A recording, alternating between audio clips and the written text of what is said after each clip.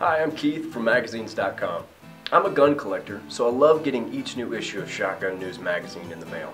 Each issue has several articles written by firearm experts, as well as catalogs of gun show listings.